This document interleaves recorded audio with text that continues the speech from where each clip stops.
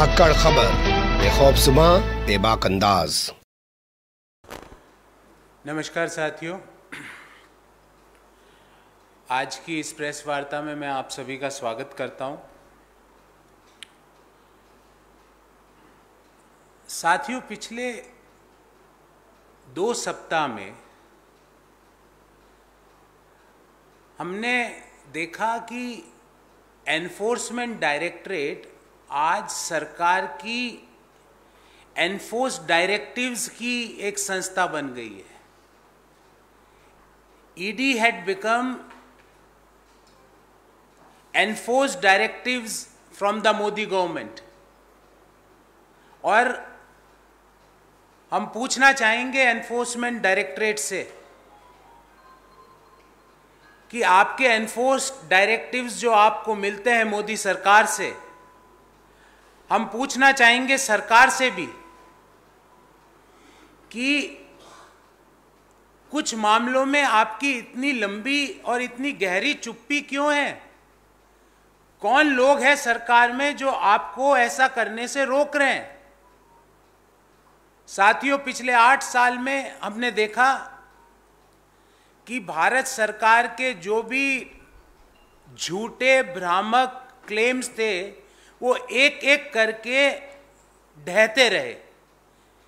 Tall and false claims of government एक एक करके गिरते रहे। पिछले दो सप्ताह में कांग्रेस पार्टी के पूर्व अध्यक्ष और हमारे नेता श्री राहुल गांधी जी को चौपन घंटे तक की ईडी ने पूछताछ की। पर दो मामले आपको बहुत बहुत लेटेस्ट मामले आपके सामने रखूँगा। वहाँ पे ईडी चुप है। हम पूछना चाहते हैं, उन मामलों में इतना सन्नाटा क्यों है भाई? पहला मामला आता है, ये मैं भी नहीं कह रहा, सरकार भी नहीं कह रही, देश का कोई एजेंसी नहीं कह रही, पर श्रीलंका की स्टेट ओन्ड, श्रीलंका की सरकारी इलेक्ट्रिसिटी बोर्ड, जिसका नाम है सिलोन इलेक्ट्रिसिटी बोर्ड उसके चेयर सरकारी इलेक्ट्रिसिटी बोर्ड, जिसका नाम है सिलोन इलेक्ट्रिसिटी बोर्ड, उसके चेयरमैन, जो उनकी बिजली आपूर्ति करती है श्रीलंका में, उसके चेयरमैन वहाँ की संसद के सामने खड़े होके, कोई छोटी मोटी जगह भी नहीं, श्रीलंका की संसद के सामने खड़े होके कहते हैं कि हमारे राष्ट्रपति श्री राजपक्षा, श्रीलंका के राष्ट्रपति श्री राजपक्षा को मोदी जी ने प्रेशर डाला। ये मैं नहीं कह रहा।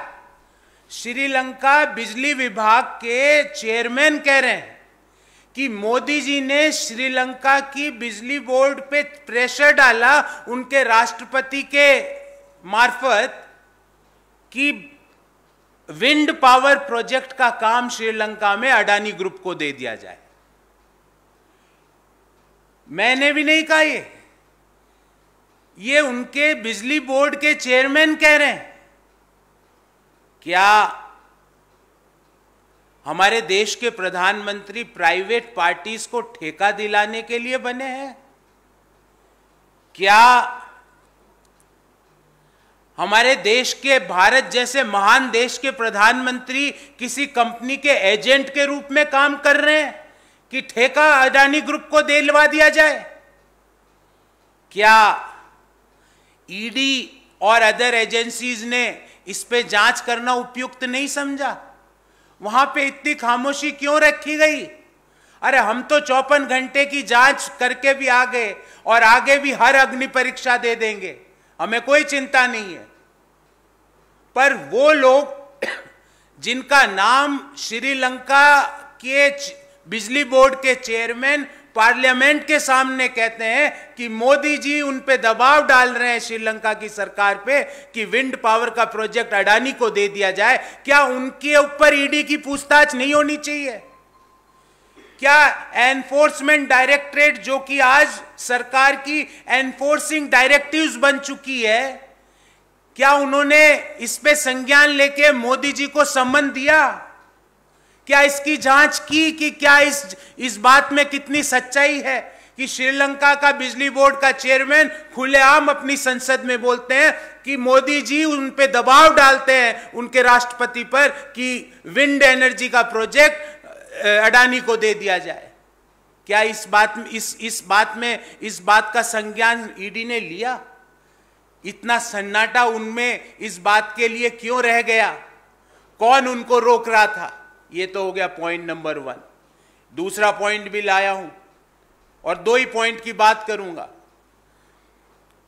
जैसे ही 2014 में मोदी जी ने सत्ता संभाली, उस 2014 में सत्ता संभालते ही स्टेट बैंक ऑफ़ इंडिया ने एक ड्राफ्ट एमओयू बनाया।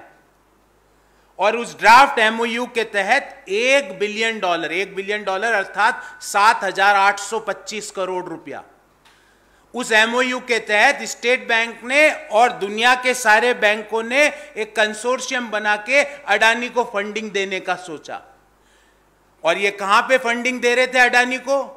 ऑस्ट्रेलिया में, माइंस के लिए। जब इसका विरोध देश में हुआ, जब इसका विरोध ऑस्ट्रेलिया में हुआ तो इस एमओयू को निरस्त कर दिया। बात यही खत्म नहीं हुई। उसके पश्चात 2020 में पुनः स्टेट बैंक ऑफ़ इंडिया ने पाँच हज़ार करोड़ का फंडिंग का proposal Adani Carmichael coal project in Australia जब इसका भी वहाँ पे क्लाइमेट एक्टिविस्ट ने विरोध किया जब इसका भी वहाँ पे इन्वेस्टर्स लाइक एमुंडी और एक्सा ने विरोध किया तो स्टेट बैंक ने इसको भी गॉट स्टक अभी इसका क्या स्थिति है मुझे नहीं पता। सत्ता संभालते ही 7,825 करोड़ का एक बिलियन डॉलर का फंडिंग अडानी को ऑस्ट्रेलिया के माइंस में देने का निर्णय किया। एमओयू बनाया स्टेट बैंक ने। विरोध हुआ तो उस एमओयू को वहीं रोक दिया। 2020 में पुनः ऑस्ट्रेलिया की एक कोल माइंस के लिए 5000 करोड़ की फंडिंग का निर्णय स्टेट बैंक ऑफ़ इंडिया करती है। जब इसका विरोध वहाँ के इन्वेस्टर्स करते हैं तो वो डील स्टक हो जाती है। अभी इस डील की क्या स्थिति है, हमें नहीं पता। हमारा सवाल है क्या ईडी ने कभी अडानी को बुला के पूछा कि आप किससे प्रेशर डलवा रहे हो स्टेट बैंक ऑफ़ इंडिया से लोन लेने के लिए? क्या ईडी ने स्टेट बैंक के को बुला के पूछा कि वित्त मंत्रालय में बैठे कौन से मंत्री आपके ऊपर दबाव डाल रहे हैं कि आप अडानी को लोन दो? और ऐसे और भी कई किस्से लिस्ट बहुत लंबी है। पाँच छह इश्यूज़ आपको जस्ट पासिंग रिमार्क कर रहा हूँ। क्या ईडी ने कभी ईश्वरप्पा को बुला के पूछा? कि ये 40 प्रतिशत कमीशन जो कर्नाटक सरकार, ये मैं नहीं कह रहा, वहाँ के कॉन्ट्रैक्टर्स एसोसिएशन के चेयरमैन ने प्रेस वार्ता करके बोला। क्या ईडी ने बोमई साहब को बुला के पूछा कर्नाटक के मुख्यमंत्री को कि आपके ऊपर चार्ज है कि आप जो भी काम करते हो उस पर चालीस प्रतिशत कमीशन लेते हो? क्या वहाँ पे ईडी ने पूछताछ की? क्या ईडी ने कभी बुला के मध्य प्रदेश के मुख्यमंत्री को पूछा कि व्यापम के घोटाले के दोषी कौन कौन है? क्या ईडी ने कभी गुजरात के मुख्यमंत्री को बुला के पूछा कि कांडला बंदरगाह पे 260 किलो ड्रग कांडला जो ये बंदरगाह है, वहाँ पे कैसे मिली? वो उसका क्या सोर्स था? क्या ईडी ने कभी हेमंत बिश्व शर्मा को बुला के पूछा कि ये पीपीई किट का घोटाला कैसे हुआ? क्या ईडी ने गोवा सरकार को बुला के पूछा? जब सत्यपाल मलिक ने स्वयं, जो कि गोवा के गवर्नर थे, कहा पब्लिकली कि गोवा सरकार जो भी करती है इस धरती के नीचे, उसमें करप्शन है। इतना सन्नाटा वहाँ ईडी को क्यों आ जाता है? ऐसा उनके ऊपर क्या दबाव है? हम पूछना चाहते हैं तीन सवाल सरकार से। पहला,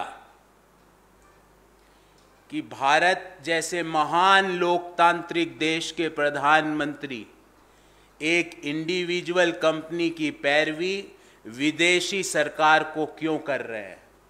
इस बात का संज्ञान कौन लेगा? हम पूछना चाहते हैं कि कौन से मंत्री और ब्यूरोक्रेट्स ईडी के ऊपर इस इन्वेस्टिगेशन को नहीं करने का दबाव डालते हैं?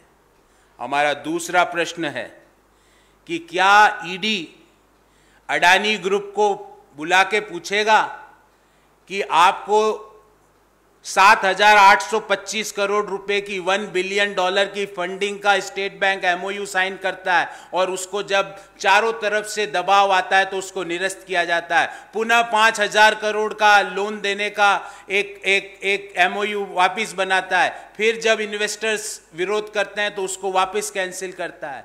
कौन लोग हैं वित्त मंत्रालय में और प्रधानमंत्री कार्यालय में बैठे हुए जो स्टेट बैंक पर दबाव डालते हैं बार बार कि अडानी ग्रुप को फंडिंग की जाए? क्या ईडी ये संज्ञान लेगा?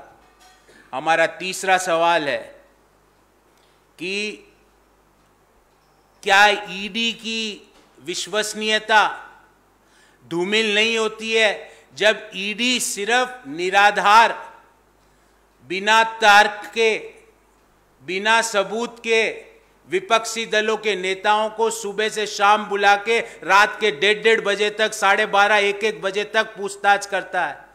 क्या उनकी विश्वसनीयता इन केसेस जो मैंने आपके सामने रखे, दो तो बड़े केस और बाकी स्टेट गवर्नमेंट्स में जो करप्शन का खुलेआम नंगा नाच हो रहा है, क्या उसमें ईडी ने अभी तक कोई भी जाँच की? ये हमारे तीन प्रश्न हैं।